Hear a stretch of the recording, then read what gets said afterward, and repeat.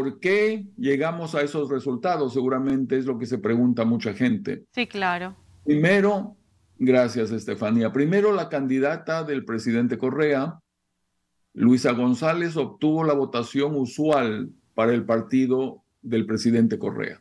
Digamos que eso no fue una sorpresa. Había un pelotón de candidatos que formaban un segundo grupo desde el cual debía desprenderse el segundo que iría a la segunda vuelta.